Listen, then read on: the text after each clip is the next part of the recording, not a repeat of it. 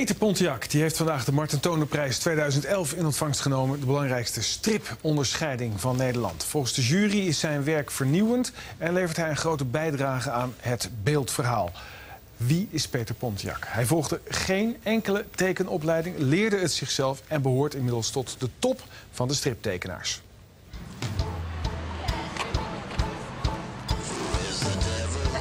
Een universum op twee hoog. Welkom in de wereld van Peter Pontiac. 60 jaar oud, maar nog steeds superproductief. Op een streng dieet van sigaretten, koffie en een paar uur slaap per nacht... bouwt Pontiac in zijn werkkamer van 9 vierkante meter voort... aan een enorm en vooral uniek oeuvre. Strips, affiches, een getekende roman, platenhoezen, portretten. Pontiac heeft het allemaal gedaan, doet het nog steeds en zal het blijven doen. De Marten Toonder stripprijs die hij vandaag krijgt voor zijn hele werk is een mijlpaal onderweg en zeker geen afsluiting. Ik vind uh, ouder worden vind ik uh, uh, eigenlijk heel erg prettig. Ook omdat je, ik dacht vroeger dat alle soep ontzettend heet gegeten werd. En ik ben heel lang heel geïmponeerd door de wereld geweest. Maar dat begint nu pas echt een beetje af te nemen. En nou begin ik echt eindelijk een beetje wat soepeler in mijn vel te zitten. Het heeft heel lang geduurd dus. Maar, was toch heel slecht voor kunstenaars als ze milder worden? Nou, ik zeg niet dat ik milder word. Dat zeg ik niet, maar wel dat ik zekerder word. En, en minder ongemakkelijk. Je vertrouwt meer op je, je maar, weet dat je kunt. Ja, maar milder word ik helemaal niet. Integendeel, ik word steeds kwaaier. Waarom? Nou, je hoeft maar de krant te lezen of uh, het nieuws te volgen. En uh, langzamerhand worden alle sluiers uh, steeds dunner. En je kan steeds meer zien hoe, hoe, hoe smerig het zaakje in elkaar steekt. Ik denk dat een katholieke opvoeding er ook iets mee te maken uh, heeft gehad. Want uh, kinderen nu die groeien op met kabouterplop en, uh, of teletubbies of wat dan, wat dan, ook. Maar in mijn jeugd hadden wij, dat was allemaal niet. Dus ik groeide op met, engelen, met engelen en, en, duivels als, als, als beelden die op mijn netvlies gebrand werden. En ik denk dat dat ook bijgedragen heeft aan, aan dat ik toch onwillekeurig of onwillekeurig, daardoor uh, de strijd tussen goed en kwaad en zo uh, nog steeds graag wil uitbeelden. De naam Peter Pontiac doet lang niet bij iedereen een belletje rinkelen, maar bijna iedereen heeft wel eens een tekening van Pontiac gezien. Dus misschien niet zo bekend bij het grote publiek, maar onder zijn vakbroeders, zoals striptekenaar Erik Kriek. Heel veel kuifje zit erin. Is Pontiac een zeer gerespecteerde collega. Ik ben wel met, met zijn werk opgegroeid. Mijn zusje had de Muziek Express.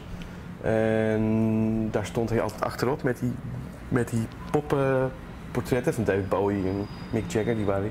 Maar daar was ik vroeger al, was ik al eh, heel erg door van onder indruk. Ja. Dus dat, dat was mijn eerste kennismaking met zijn werk. Tekenen, zegt Kriek, dat moet je niet doen als je rijk wilt worden. Want je moet veel commerciële klusjes aanpakken om ervan te kunnen leven. Nee, het heilige vuur, daar draait het om is gewoon wel een soort innerlijke drive. Ik denk dat Peter die ook heeft. En hij wil, hij wil gewoon, denk ik, de wereld laten zien wat er zich in zijn hoofd afspeelt. Hij heeft, hij wel heel veel te vertellen. Wat Peter als een van de eerste was, dus strips als persoonlijk medium, persoonlijke expressie. Dat zie je nu bij de nieuwe generaties tekenaars als vanzelfsprekend. Dat ze strips maken en, en uh, graphic novels, zoals we nu zeggen. Dus, dat is nu een modewoord, maar het zijn ook gewoon stripverhalen natuurlijk. Maar dat die vanuit een persoonlijke uh, perspectief worden geschreven en gemaakt. Dat is wel iets van de laatste tien jaar. Tien jaar geleden bracht Peter Pontiac het boek Kraut uit. Een getekende brief aan zijn vader Joop, die in 1978 hoogstwaarschijnlijk op Curaçao de zee is ingelopen. Joop sloot zich aan bij de SS, was in de Tweede Wereldoorlog verslaggever voor Duitse kranten, zat na de oorlog een tijd gevangen en ging later voor roddel- en damesbladen aan de slag. Een opvallend verhaal, indrukwekkend opgetekend door zijn zoon. In het Graphic Design Museum in Breda begint vandaag een tentoonstelling van Pontiac's werk met een prominente plek voor het boek. Ja, in zijn boek Kraut uh, gaat hij eigenlijk op zoek naar hoe die geschiedenis uh, zich heeft ontwikkeld. En uh, Kraut is eigenlijk een zoektocht ja, naar de geschiedenis van zijn vader, daarmee zijn eigen geschiedenis. En dat doet hij ook nog eens op zo'n manier dat het echt een ja, bijzonder integrerend verhaal oplevert, zowel in, in, in tekst als in beeld. Ik heb veel theorieën bedacht, maar ik kan me toch moeilijk losmaken van het idee dat je daar met die leegte voor je plotseling besprongen werd door angst voor de toekomst, het verleden en het heden voor mijn part. Tot er dan zo opwindend schone lei die opeens veranderde in een zwarte woestenij, Met niets dan ruïnes en puinhopen om je heen. In één keer overvallen door het verblindend schelle inzicht dat ondanks alle hoopvolle verwachting lang geleden gekoesterd de opbrengst van je dagen van geen enkele waarde blijkt te zijn. Ja, dat verhaal. eh, dat, dat, laat ik zeggen, ik ben hem heel erg dankbaar voor dat verhaal. Want het heeft mij een, een, een, mooi boek opgeleverd. En, Ja. en dan de verwerkings, eh, dat verwerken en zo, dat is dan zo'n soort fringe benefit daarvan geweest. Maar het was in de eerste plaats gewoon een waanzinnig eh, goede kluif om mijn tanden in te zetten. Dat was mijn kluif, zeg maar. Dus het gaat over mijn vader. Ja. Ik heb alleen heel lang gewacht, ook tot mijn moeder eh, er niet meer was, want die had dit heel erg pijnlijk gevonden. Het is zoals het is. De moeilijke vader-zoon-relatie, een heftige jeugd. Dat zijn belangrijke ingrediënten voor een vruchtbare tekencarrière. Nou ja, hij is toch op, op vroege leeftijd gaan experimenteren. Ook toen hij nog thuis woonde eh, had hij grote interesse voor, eh, voor de softdrugs en wat minder voor, eh, voor de school. In een van zijn boeken kun je lezen dat hij heel zijn kamer zwart heeft geschilderd en heel de dag zat te blowen. En soms vriendjes op bezoek had en waarvan de kots nog wekenlang in een gootsteen stond. Ja, dus hij, hij is als, als jongere best gaan experimenteren. Wellicht ook een beetje door eh, de band die hij met zijn vader had. 60 jaar oud, gerespecteerd, een gigantisch oeuvre, maar nog lang niet klaar. Nooit klaar. Nee, ik heb he- heel veel plannen en heel veel dingen die ik nog wil eh, tekenen. Zoals.